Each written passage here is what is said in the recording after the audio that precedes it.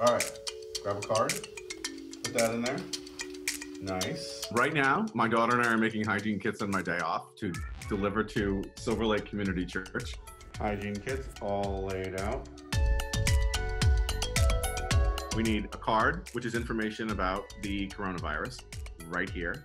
We put everything inside your standard Ziploc bag. Um, we put a pair of socks in there. We put some toothpaste in there. We put a toothbrush in there. We put antiseptic wipes, shampoo, conditioner, some napkins, granola bars, and a comb. And basically, it's enough to be able to do some basic hygiene things for yourself while you're out there and maybe you don't have somewhere to live.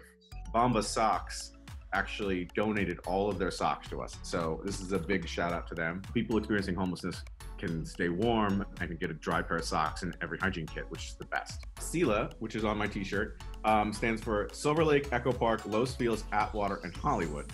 Um, but basically, we're a neighborhood homeless coalition.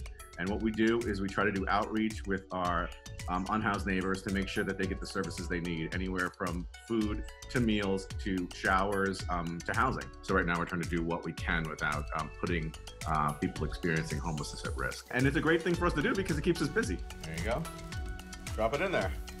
That's five. And you know how many we have to make, Mia? 100.